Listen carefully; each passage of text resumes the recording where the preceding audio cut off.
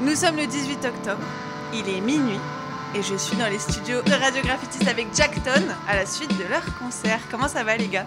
Eh bien, euh, un public euh, très réceptif, euh, une tarte au citron. C'est la première fois euh, en, en très longtemps que pe- personne n'avait jamais pensé à nous cuisiner un moelle au citron. Pâtissé, pâtissé. Pâtisser. Mais non, mais franchement, c'est tout à ton honneur et, et on a le été. pour toi. Non, c'était une délicate attention. Merci. On aura quand même eu pas mal de monde C'est vrai. dans le hall de la MJC. J'ai trouvé qu'il y avait euh, une dynamique assez intéressante euh, entre vous et le public. Est-ce que c'était un peu plus stressant du coup de savoir que vous étiez aussi diffusé en direct à la radio ou c'était un truc différent par rapport aux autres concerts? C'était pas plus stressant, mais on faisait. Enfin, moi, je faisais un peu plus gaffe à ce que je faisais. J'ai moins pris le micro pour dire des conneries que d'habitude. Alors, ouais. Oui, parce que tu sais que finalement, c'est pas que les gens qui sont Ouais, dans la salle ça. qui t'entendent, c'est un peu tout le monde et ça sera encore plus, encore plus de monde parce que j'ai enregistré évidemment euh, tout le concert Mm.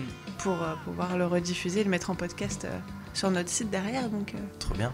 Euh, ben, moi, pour euh, toutes les oreilles attentives qui auront trouvé euh, peut-être euh, des erreurs euh, de jeu ou des choses qui ne leur vont pas ou des, ou des quoi que, bon, bah, déjà, j'ai envie de dire.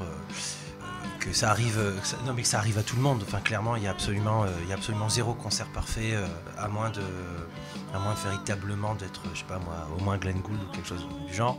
Euh, et puis l'autre aspect, enfin, est-ce qu'on a trouvé ça intimidant ou exaltant?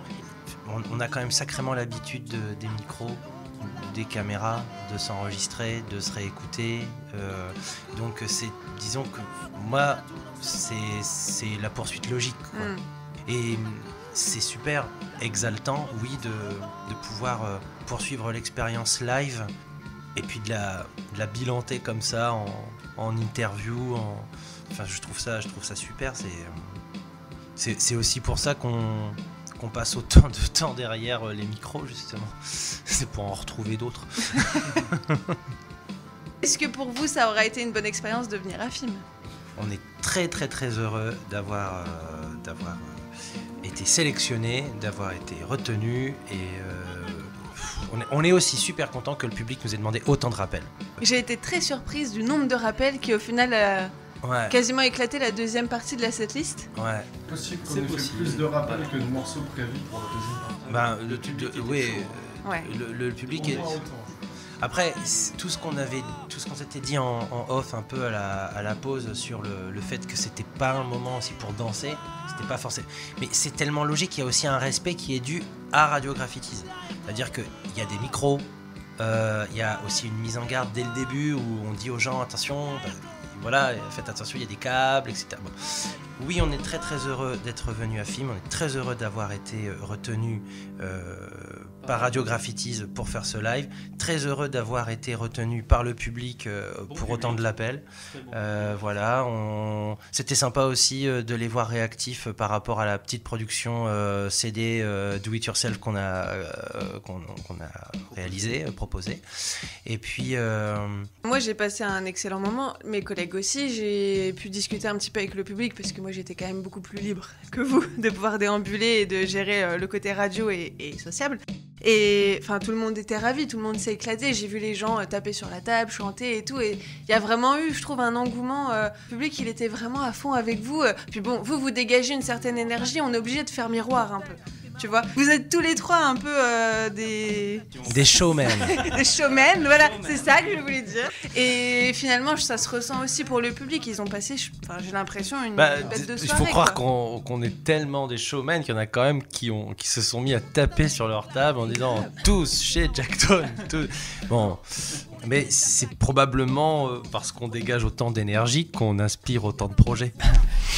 Depuis le temps qu'on joue ensemble, on a pris des habitudes, on s'entend Mm. bien, on échange bien, euh, et c'est Mm. assez flux euh, dans, dans notre façon de jouer, donc euh, ça se communique certainement avec le public. On, on, on vit un peu les morceaux, donc euh, c'est communicatif. Et euh, ouais, ça s'est ressenti, c'était cool.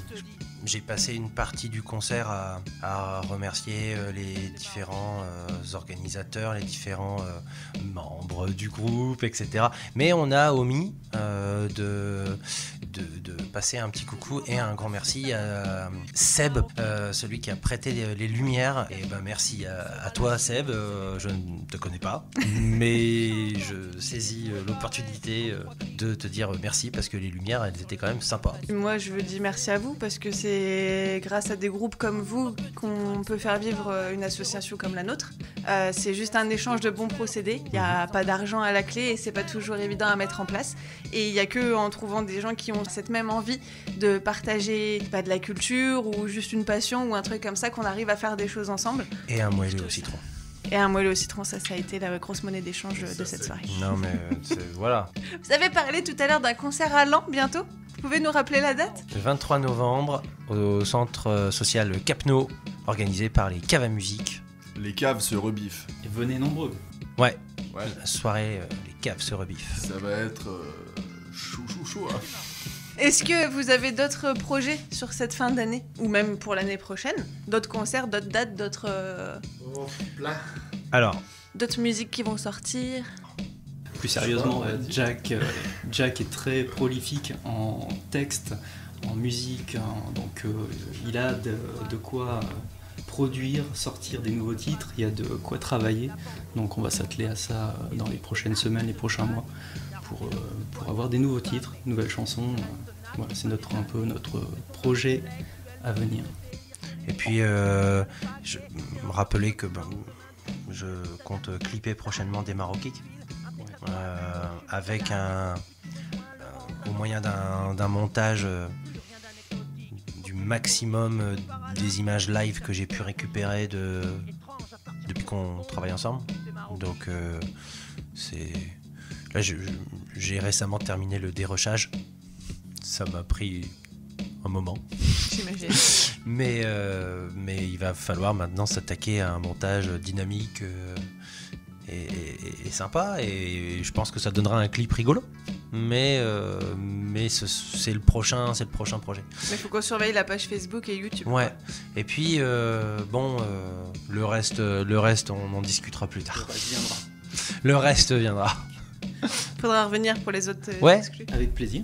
Bon, on reviendra. Euh, on reviendra s'il y a du gâteau au citron. Ouais. Merci Jackton d'avoir été avec nous en direct des studios de Radio Graffiti ce soir pour ce concert. On a tous passé un excellent moment grâce à vous. Et euh, on se dit à très bientôt. Et si vous avez un, un petit message pour les auditeurs et les gens qui sont venus vous voir ce soir, euh, je vous laisse le micro. Ben, restez les mêmes parce que ça vous va bien. Et puis euh, la prochaine fois, je grimperai sur plus de tables. C'était vraiment, c'était vraiment super.